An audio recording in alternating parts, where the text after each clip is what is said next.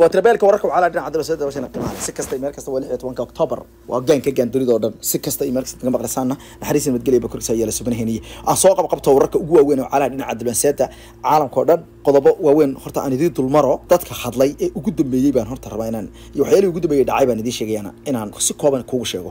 Hogaamiye ku-xigeenka ururka xisbullahi naciim qaasim waa uu hadlay islamarkaana waxa uu ka hadlay natiijada dagaalka uu sheegay in xabad joojintu ay noqon doonto mid isku xidhna isagoo markii horeysay isku laday labada arrimood oo ayaan dhawto admoos inuu yaro kala qaaday. Kadib markii la sheegay in kaadiriinta dagaalku ay ka diideen taas waa qodob. Wararkaas waa faahfaahi doonaa laakiin lubnaan ra'isul wasaaraheeda taagta daran wuxuu aljasiire u sheegay in maraykanku ay gebi ahaanba ay siisay maamulkiisa. Ayuu yidhi wuxuu ugu yeedhay inaysan israa'iil aysan duqeed doonin goobaha ay maamulka suniyiintu ay joogaan. Sidaa daraaddeed wuxuu ugu yeedhay in damaanad qaad noocyo damaanad qaada ay siiyeen taasoo sidoo kalena uu sheegay in laga yaabo in israa'iil ay yarayso. Qaybo ka mid ayuu inay duqeyso magaalada caasimadda beirut. Waa qodobada kale la yaab kale. Iiraan taliyahoodii lieutenant general ibrahim jabari waxa uu sheegay in militariga maraykanku ay gebi ahaanba noqon doonaan bartilmaameed iyadana waa idii haya. Waxaad kaloo aad maqli doontaan israa'iil oo gebi ahaanba sheegtay inay iyaduna ay qarka u saarantahay inay dagaal qaado qodobadaas macnaha dhammaantood waxaan idinku soo koobaya waa headlineska wararka maadaama wararku ay kor iyo toban noqonaya waxaan rabaa inaysan iskaga kaa khaldamin waa dhowtaada ku khalkhalinaya wasiirka wasaaradda arrimaha dibadda ee dalka turkiga ninka la yidhahdo xakan fidan ayaa waxa uu sheegay in israa'iil cunaqabatayn in la saaro ay muhiim tahay. Xakan ayaa waxa uu sheegay in cunaqabataynta sida ugu dhaqsaha badan lasugu xidho si loo abaabulo ayuu yidhi natiijo wax ku oola oo dunida oo dhan dalalka dunida oo dhan waa inay sida ugu dhaqsaha badan uguna suuragalsan cunaqabataynta dhinaca hubka ugu soo ridaan nidaamka saanuniyadda. Waxaana sheegay in cid kastoo diidan inay dagaalka nidaamka saanuniyadda lagu soo rogo ay noqon doonto mid aad sii darsanaysa wuxuu sheegay inay tani imaanayso iyadoo dhinaca kale ay dalbanayaan qaar ka mid ah hay'adaha waaweyne inay la sameeyo sidaas daraasiin ka tirsan xisbiga talada haya ee wadankaasi britain ee ayaa dalbaday in dowladda ingiriisku ay joojiso. Diidmada ay ka diidayso kooxaha xuquuq insaanka dacwadaha ku aadan in spare partiga ama alaabta dayactirka baa loo yaqaana ee diyaaradan hoolan ee israa'iil ee maraykanku uu sameeyey laakiinse inta badan spare partigeeda dalka britain laga keeno ee f three five s ka ay joojiyaan. Xubnaha oo isugu yeedhay in ay yihiin konton in ku dhow oo xildhibaanada baarlamaanka ayaa soo dhaweeyey go'aankii sideed iyo tobankii bishii sebtembar ee israa'iil ugu baaqayay in ay joojiso haysashada dhulka reer falastiin gaar ahaan kii guud the occupied palestinian territory loo yaqaano o b t.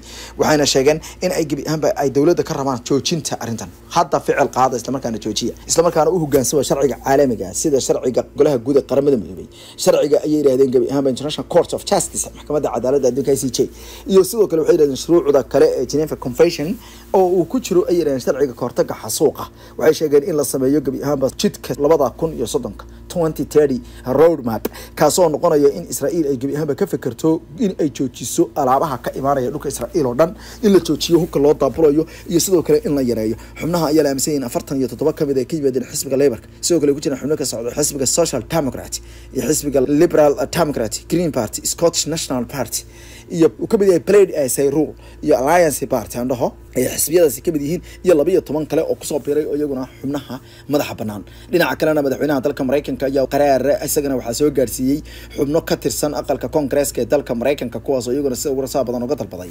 Maamulka biden fashilmay markay noqoto arrintan inuu joojiyo taageerada uu siinayo nidaamka samaniyad kadib markii warqada la diray ayaa waxaa arrinta ka hadlay alexandria ocasio cortis gabadha laga soo doorto gobolka new york iyadoo markaas tafaasiir ka bixisay xubnaha warqada qoray waxayna sheegtay in nidaamka madaxweynaha dalka maraykanka uu joojiyo weerarada horarka ah ee lagu qaadayo halkaasi kaasoo ku tilmaantay in waxaa ka dhacayan waqooyiga qasa ay tahay dambiyo gebi ahaanba aan cida ka nasanaynin waxayna ku tilmaantay in netanyahu uu isagu gacmaha ku sito dab iyo baasiin sidaa daraaddeedna uu cid walba ku dhejinayo cosio cortis waxay sheegtay inay iska caddahay nidaamka saanoniyadda israel ay taageero ka helayaan weli maamulka madaxweyne biden oo taag daran.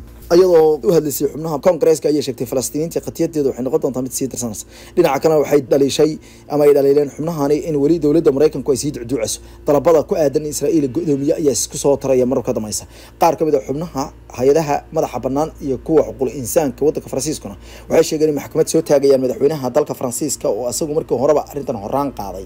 Noqdayna dalkii ugu horreeyey ee qaramada reer yurub ka mida ee waaweyn garan kuwa galbeedka ee ku dhawaaqa in israa'iil la cunaqabateeyo si kastaba ha noqotee qaar ka mid a tobanaan hay'adood oo inji-ooya ayaa sheegay in ay rabaan in madaxweynaha dalkasi faransiisku maadaama uu ogaa in dambiya dagaal israa'iil ay gelayso sababta uu muddada sanadka ah uga aamuslaa arrintana ficil uga qaadi waayey isagoo hadeerta uu qoolan yahay. Arrinta cajiibka ayaa ah in hay'adahan hadeerta ay doonayaan in makaruun laftiisa uu debiga qayb ka noqdo waxayna sheegeen inuu la soo daahay in go'aaminta in hubka israa'iil uu ku baaqo in la joojiyo walow isagu uusan si rasmiya u meel marin ayay dhaheen. Waxayna sheegeen inay maxkamadda dhinaca dembiyada dagaalka ay saari doonaan. Madaxweynaha faransiiska hadirta wuxuu la kulmaya cadaas aada u xoogan xubnaha ururada aan dowliga ahayn the non governmental organizationska waxay sheegeen in dembiyo dagaal uu galay mr macaron uuna qeyb ka noqday ama uu dambabasay dembiga dagaalka. Olive small oo isagu ka mid a xubnaha u hadlay ururka loo yaqaano euro palestinian ayaa markii dambe waxay sheegeen in maxkamadda dalka faransiiska ay ka rabaan inay xukunto mr. Macaron sidoo kalena waxay sheegeen inay la tiigsanayaan maxkamad xubno uu ka mid yahay wasiirka hore wasaaradda arrimaha dibadda dalka stephen sajun iyo rasaarihii hore wadankaasi gabriel atal oo dhammaantood dambiyo dagaal ay ku eedeeyeen. Sidoo kalena ay ku eedeeyeen in ay afjigeen dadka faransiiska ay doonayay inay arrintan ka mudaharaadaan. Cadaadis aada u xoogan ay saareen barbilowga dagaalka iyagoo ku tilmaamay inay sii socon doonto israel ayaa dhinaca kalena waxaa la sheegay inay gaajada u isticmaalayso hub ahaan iyadoo waqooyiga qasa saacadihii ugu dambeeyey oo dhan ku soo rogtay nidaamyo adkaynaya in halkaas uu gargaar si ay dadka ay u kala dooransiiso labo. Dadka falastiiniyiinta oo iyagu diiday inay dirgadaan oo dalkooda ay ka cararaan isla markaana dhulka iyo ciidda ku dhegay ayay israel saacadihii ugu dambeeyey doonaysa in dhinaca waqooyiga ay kala goyso. Israel ayaa isku gadaantay qaybo ka mid a waqooyiga waddooyinka soo gala ee raashinka iyo sahayda keena waxayna rabtaa dadka in ay markay haraadaan gaajoodaan isla markaana dhanqalmaan ay kabna lulaan kabna ladaadiyaan isla markaana ay ka tagaan meesha. Sida uu qabo mid ka mid a xubnaha sida weyn arrintan ka soo horjeeda orion muller waxa uu cambaareeyey in israa'iil ay arrintan u isticmaalayso dabino dhinaca dagaalka ah. Oo ay doonayso in ay gaajada ay ka dhigato qori markii ay dadka khasbi kar weydii falastiiniyiinta ayaa noqday dad cajiiba isla markaana waxay galeen dadka ugu adkaysiga badan caalamka oo dhan. Waxay diideen inay ka qaxaan qasa. Waxayna diideen inay aadaan masar. Sidoo kale waxay diideen inay meelaha kale u qaxaan oo urdun ka mid ka tahay. Waxayna ku adkaysteen inay dhulkooda sii joogaya inta dhibic dhiiga ku jirto. Kadibna israa'iil ayaa qorshe cusub keentay oo barbilow ah kaasoo ku saabsan inay gebi ahaanba dadka la gaajaysiiyo la haraadiyo biyaha laga gooyo waqooyiga qasana markaasi dhibaato aada u xoogan laga geysto. Kolkaana dadku iyaga oo markaasi baktiga xalaal u yahay ay iskaga tagaan meesha. Hase yeeshee arrintan ayaa waxay keentay qayladhaan aada iyo aada u xoogan. Dunida oo dhan ayaana aflabadii yeedhay. Inkastoo ilaa iyo hadeerta israa'iil aan laga qaadin ficil la taaba karo wax ku ool ah haddana kuwa isugu yeedha in ay yihiin kuwa xuquuqul insaanka ilaaliya ee dalalka waaweyn ayaa ku tilmaamay. Arrintu inay sii darsanayso qaramada midoobey ayaa sheegtay in waxa waqooyiga qasa ka soconaya ay tahay bari hay'adda qaramada midoobey u qaabilsan qaxoontiga falastiin u n agency for palestinian refugees oo loo soo gaabay u n r w a ayaa sheegtay inay dambiyo dagaal oo cadcad oo gebi ahaan baan geed loogu soo gabanay nidaamka israa'iil iyo sanuuniyaddu ay ku gelayaan dhulka falastiin. Gaan ka gandarioo dhan dabashana qiimaha le fare kama qodno. Finisbury hights waa guri loo dhisay si casri ah wuxuuna ku yaallaa xaafadda westland ee magaalada nairobi.